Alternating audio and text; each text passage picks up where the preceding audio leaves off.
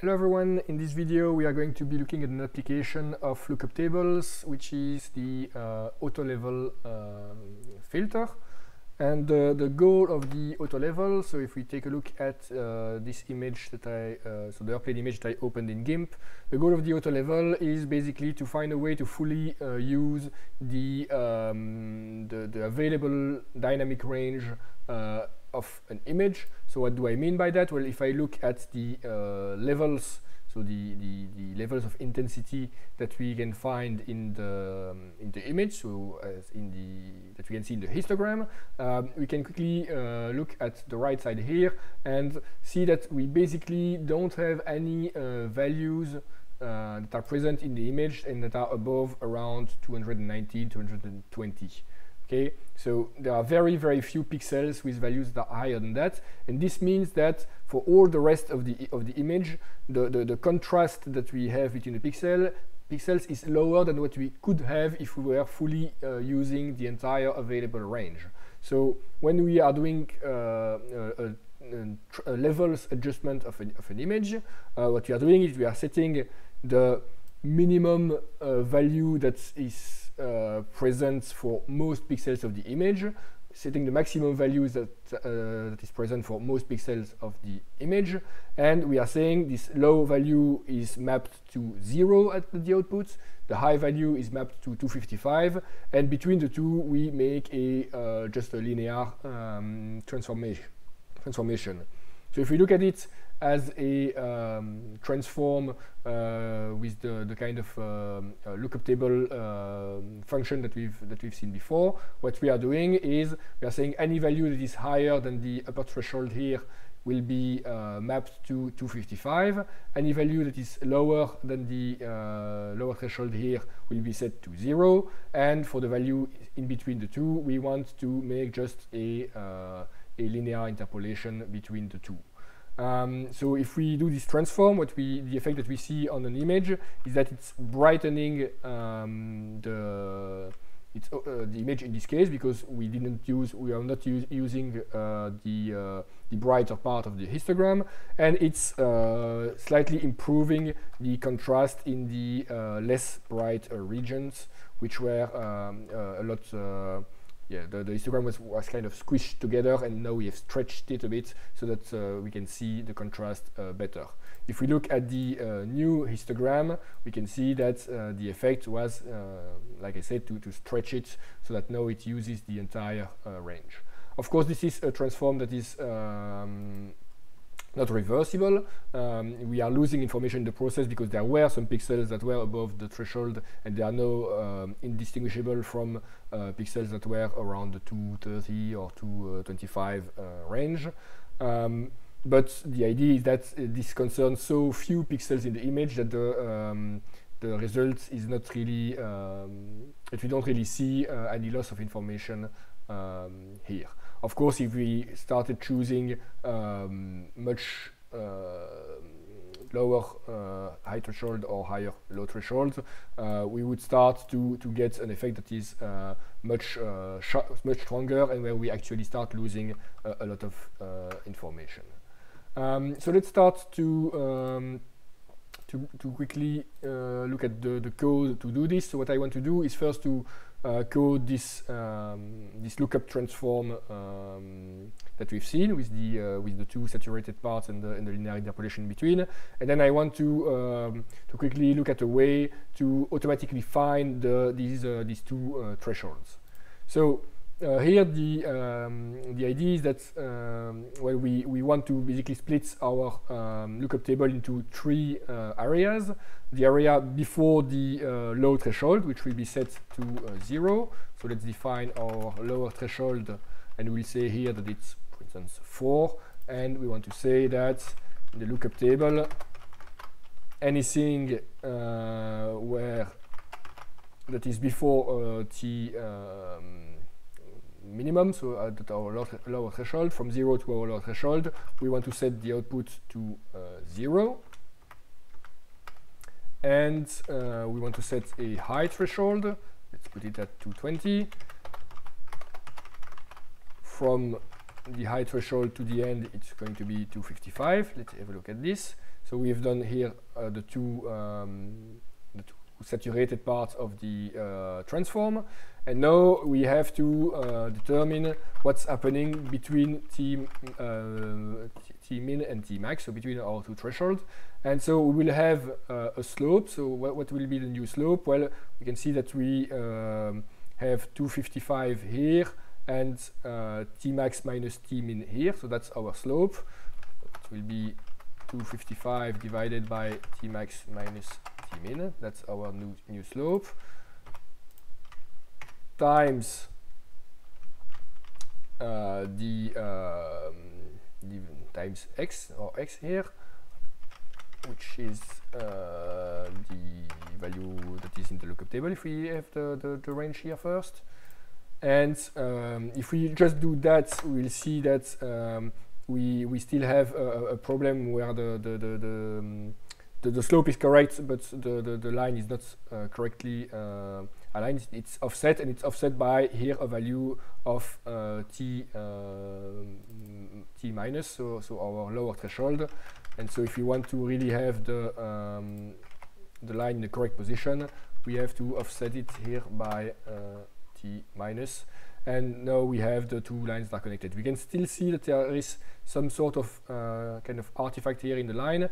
This is due to the um, uh, integer approximation. So basically, if we were casting this uh, as a float here, we would get um, a perfectly uh, nice uh, slope, but here we would have a problem because if we look at uh, the lookup table values, this means that the output would be a flo floating uh, point number, and so we would uh, actually be uh, changing the type of the of the data instead of, of having um, unsigned 8-bit integer, we would have float at the at the output.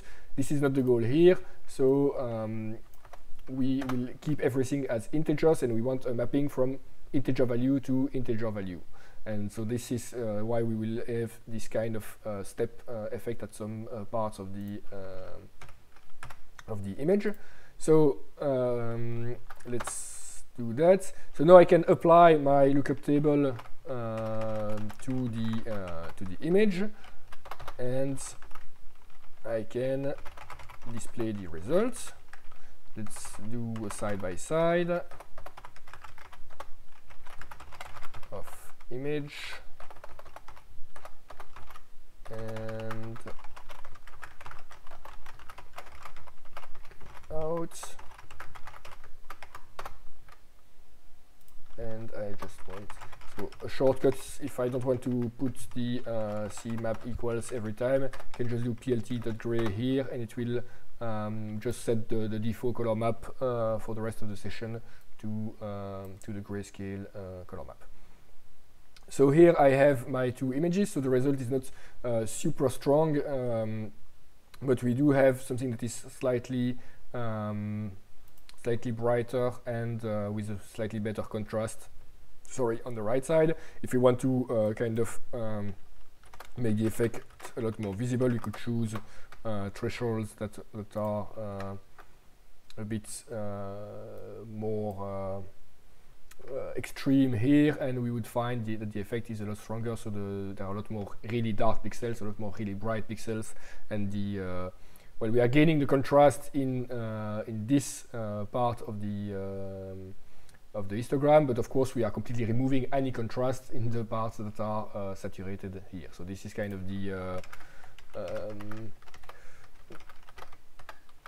of the the drawback that we have with this method is that we, we that's why we have to, to make sure that the threshold that we are choosing are uh, not um, that we they don't have too many uh, pixels that are outside of those thresholds because for those we are losing uh, all information.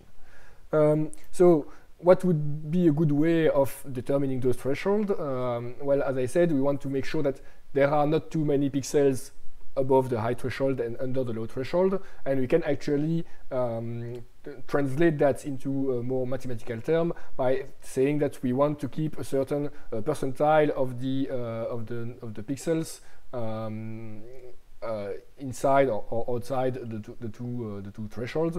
So, for instance, the most extreme way that we could uh, do it do it would be to say that t minus is the uh, minimum value that is present in the image and t max is the maximum value that is present in the image. But in this case, uh, the problem is that we do have some pixels, uh, uh a few pixels that have a value of 255 and some pixels the value of zero. So this would not change anything. Um, if we want to avoid this kind of uh, these uh, outliers, we could say instead of taking the minimum and the maximum, we can take the um, the percentile 2 and percentile 98, for instance, and say, okay, 2% of the pixels will be saturated in the lower threshold, 2% of the pixels will be saturated in the upper threshold, and um, and the, the rest will will be uh, and for the rest we will improve the contrast. So how can we um, do that? Well, we can use the uh, normalized cumulative histogram that we've already um, done before. We've uh, um, computed before, so I will quickly redo that. Um, if I want the cumulative histogram of an, an image, uh, so I have to um, say that I, so the cumulative histogram, I will initialize it to uh, zero everywhere. We'll keep a counter here, and for every value in my available range, uh, I will say that I will add to my uh, cumulative uh, counter the number of pixels that have these values this value and uh, I will put uh, the current uh, count to the uh, cumulative histogram. I will in the end normalize it, uh, sorry, normalize it um, so, so that the, um, the end is 1 so that it goes from 0 to 1 so that we can interpret it as a percentage of pixels that are uh, or, uh, under a certain uh, value. So if I quickly check uh, what I've done,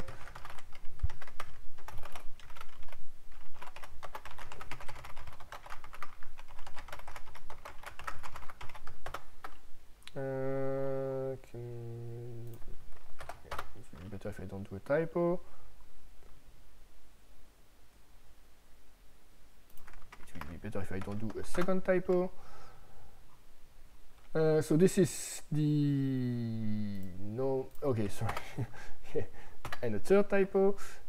This, this was the just the normal histogram and this is the cumulative histogram. So I, I keep uh, adding to the to the to the counter.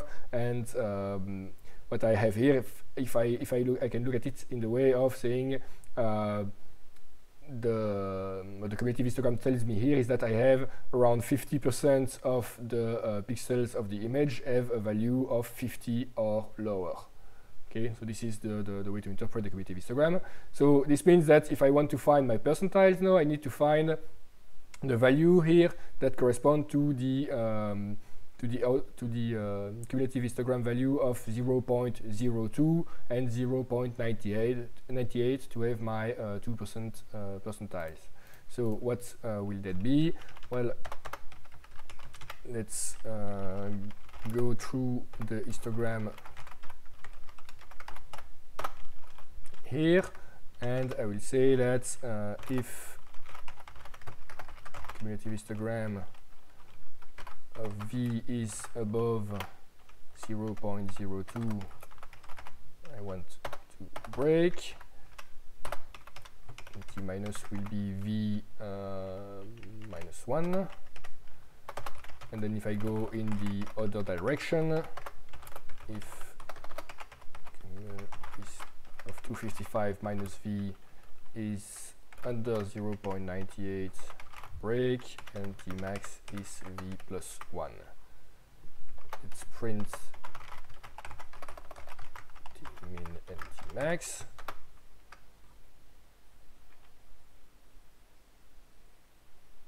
Uh, oh, sorry, it was h here. Far too many mistakes here. Um, and this is 255 minus uh, v plus 1 okay this is better. Um, and why don't I why doesn't it? Ah, it's okay. So now I found so my with the percentile um, With 2%, it's uh, the values are 8 and 212. So this means that there are only 2% of the pixels in the image have a value lower than 8, only 2% of the pixels in the image have a value higher than 212. And so this is my new automatically found um, auto level uh, function. And I can uh, display the result uh, here. Um, so this is relatively similar to the one that we found with the manually um, with the manual uh, thresholds, and we can still see this uh, slightly improved contrast, uh, mostly in the in the gray level area. So this is the auto level, and that's it for this video, and I will see you in the next one.